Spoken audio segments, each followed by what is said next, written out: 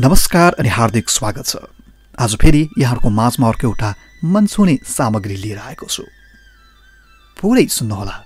यस कथामा पनि अवश्य केही न केही छ। के छ? म अहिले भन्दिनँ। कृपया सुन्नुहोला। एकपल्ट एकजना वृद्धको स्वास्थ्यमा खराबी देखा पर्यो। उनलाई अस्पतालमा एडमिट गर्नुपर्ने भयो। थाहा भयो कि उनलाई कुनै गम्भीर रोग लागेको थियो। कुनै स्वर रोग त थिएन तर पनि उनलाई राम्रो ध्यान राख्नुपर्ने डाक्टरले सुझाव दिएका थिए। अस्पतालबाट उनी घर फर्किए आफ्नो हेरविचारको लागि एउटा नर्स अनि एउटा घरको काम गर्न सहयोगी पनि राखे।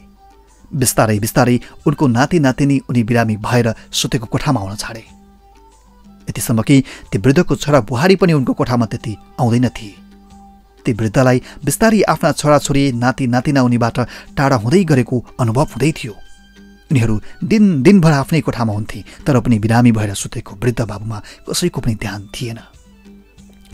यो सब उनलाई ठिक लागिरहेको थिएन। यो देख्दा उनको मन दुख्थ्यो तर पनि उनी चुपचाप थिए केही भन्दैनथे।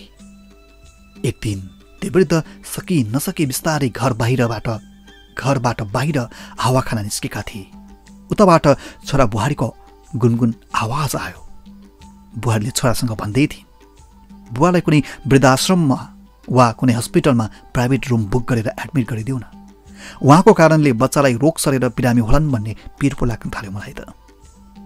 छोराले पनि भन्दै थियो कुरा त एकदमै सही गर्यो तिमीले। ठिकै छ आज साँझ म कुरा गरौँला बुवासँग। वृद्ध चुपचाप आफ्नो कोठामा फर्किए। छोरा बुहारीको कुरा सुनेर बोल्न त मन लागेको थियो। तर पनि केही नभने मनमा नै केही कुरा सोचेर चुप लागे।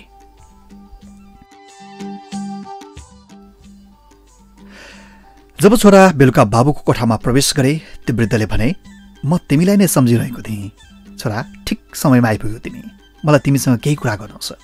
बुवा मलाई पनि हजुरसँग केही कुरा गर्नु छ। पहिला तपाईँ भन्नुहोस् न तपाईँको कुरा के हो? वृद्धले भने तिमीलाई थाहा नै छ मेरो स्वास्थ्य अवस्था ठिक छैन। त्यसैले अब म चाहन्छु कि मेरो बाँकी रहेको जीवन म यस्तै बिरामी असहाय बेसहारा वृद्धहरूसँग बिताउन चाहन्छु। यो सुनेर छोरा मनमा नै एकदमै खुसी भयो र उसले सोच्यो जुन कुरा म भन्न आएको थिएँ त्यो कुरा भन्नै नपर्ने भयो। उसले देखावट रूपमा बाबुलाई भन्यो यो के भन्दै हुनुहुन्छ बुवा? तपाईँले यहाँ बस्न केही समस्या छ र? तब वृद्धले भने होइन छोरा मलाई यहाँ बस्न कुनै तकलिफ समस्या झन्झट केही छैन। तर यो कुरा तिमीलाई भन्न मलाई तकलिफ हुँदैछ कि अब तिमी आफ्नो परिवारसहित बस्नको लागि आफ्नै व्यवस्था कतै अन्तै गर। मैले अब निश्चय गरिसकेँ कि म यो मेरो घरलाई वृद्धाश्रम बनाउँदैछु।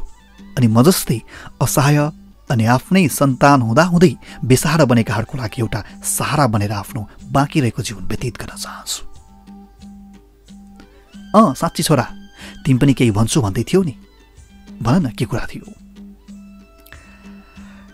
कोठामा एकाएक सन्नटा छायो। हो कहिलेकाहीँ इच्छा रहरले होइन जिन्दगीमा नचाहँदा नचाहँदै पनि परिस्थिति र आफ्नाहरूको व्यवहारले यस्ता कठोर लाग्ने कदम उठाउन बाध्य हुन्छन् मान्छेहरू। याद गर्नुहोस् है कतै तपाईँको कारणले पनि आफन्तहरूको मन यसै गरी दुखिरहेको त छैन।